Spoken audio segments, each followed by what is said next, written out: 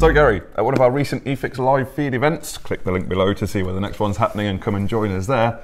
We met up with Gewiss. Gee whiz. Gewiss. Gee whiz. Well, actually, the good news is they're not overly fussy about the way it's pronounced, but apparently Gewiss is the official pronunciation. Who knew? I, I certainly didn't know that before we started making this video. Now, while we were there, we saw one of their new rotary isolators. Now, I know what you're thinking. How can we get excited about a rotary isolator? And you might be right. However, not all rotary isolators are created equal. Oh, right. And this one is from the 70RT HP range from Gewiss, and it is a beautiful piece of kit. It's got a number of features that make it stand out above the crowd.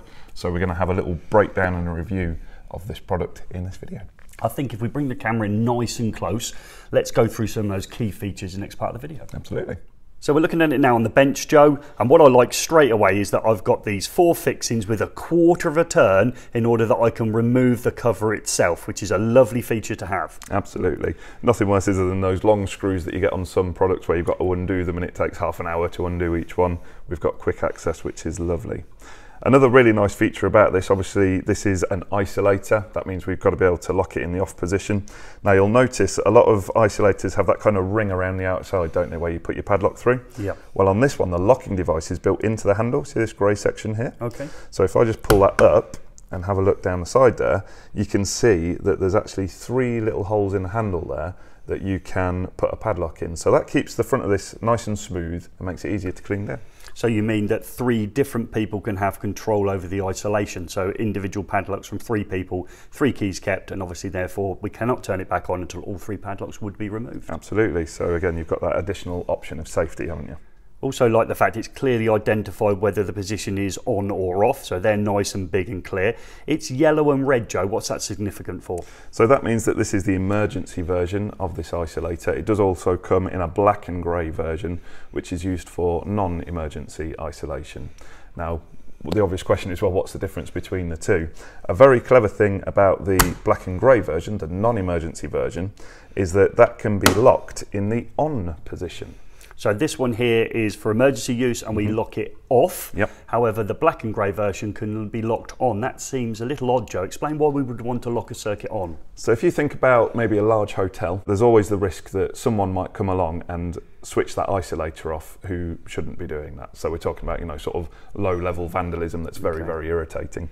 So in that situation, you might want to have locked in the on position so that nobody can tamper with it. So again, they've thought about the surface of the actual uh, isolator itself, and as you feel it, you can tell that this would be easily cleaned. But if I'm going to easily clean it, Joe, I'm obviously going to have to introduce water. So what's its IP rating? So it's interesting to note we've got IP66, 67 and 69. Notice there's no IP68 rating there. So let's consider why that's the case first of all. If this was IP68 rated gas, what could we do with it? Well, this emergency switch would then be submersible, which I don't think its idea is that we perhaps have it in a tank full of water for isolation You don't think this would be good in the bottom of a hot tub maybe to isolate the incoming supply? I don't know. No, me neither. Absolutely not. So there's no need for it to meet that standard. Can you elaborate on the IP69 for me? Yeah, absolutely. Now this is one that's becoming a little bit more common nowadays. We don't see this all the time, uh, but it's, it means that it can withstand high pressure and high temperature Right. water jets, which means uh, obviously it can be used in you know sort of very high level cleaning facilities where things need to be cleaned down to a very high standard. So that's covered its protection against moisture. What about protection against sunlight and changes in ambient temperature, Joe? Yeah, so this will function within a wide range of temperatures, so as low as minus 20 degrees C and as high as plus 60 degrees C. So that's a very broad operating range, which is good. And it's also UV resistant. Now, we've all seen it, haven't we? When we've installed plastic things and it sits in a bit of direct sunlight for part of the day, it very soon starts to go brittle uh, and can become quite bad news for an electrical enclosure. However, this is UV resistant, which is another great feature. So you talk about its strength there. Has it got an IK rating? It does, it goes up to IK08. Now that's quite a high on the IK rating scale, so it's not going to get easily damaged. Uh, it's all plastic surround, which is fantastic. It means we can use that in various environments, uh, but it's still very tough, it's very sturdy. If you do want to mount this in an area where mechanical damage is even more likely, and it is likely to get battered about a bit, there is a metal clad version of this available also.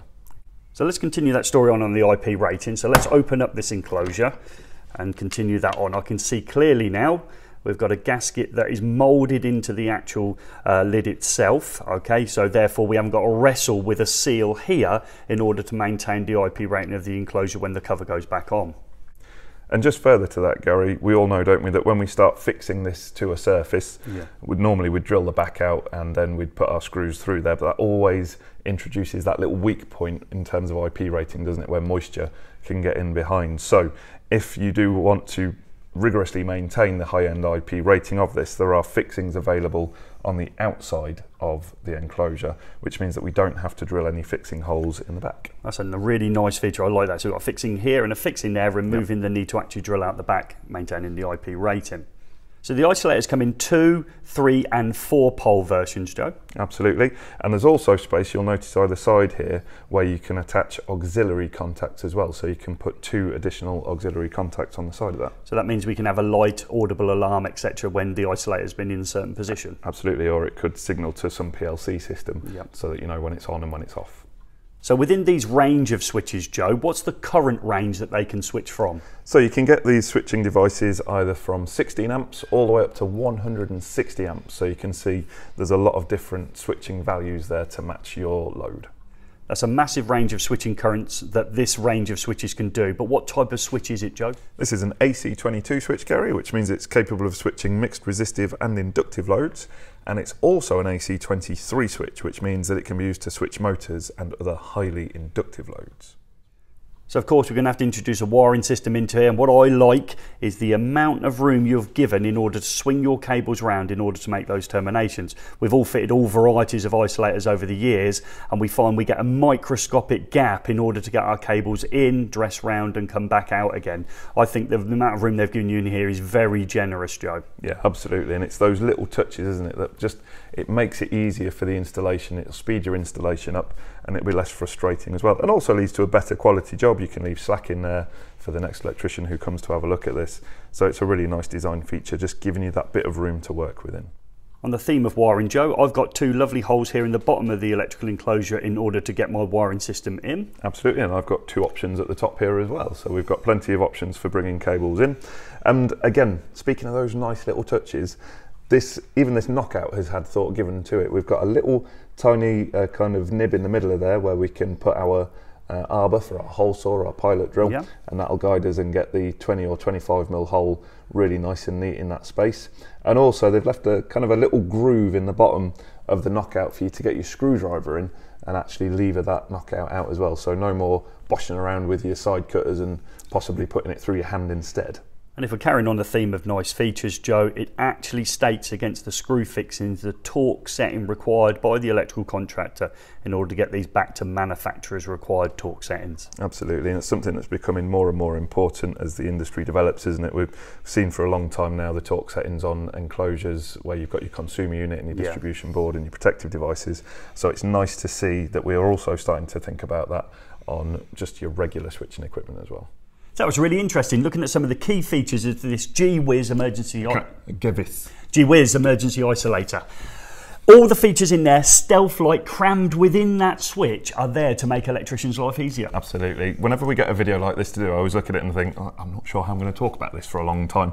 But there's just so many little touches, so many little design details that have gone into here, so much thought to make the installation easier, to make the operation easier, to make it easy for the end Yeah. user. It's just a fantastic bit of kit and it really highlights the difference, doesn't it, between the better quality end of the market Yes. and the lower quality end of the market. And to see more great products like this and interact with the leading brands in the electrical industry, get yourself down to an eFIXX live feed event. We're traveling all across the UK in 2020. I'm sure there'll be a link in the description where you can go on onto our website and register your interest if you are an electrician, an apprentice, an adult retraining in the evening. You're welcome to attend these events free of charge. All you have to do is click the link and register your interest. We hope to see you there.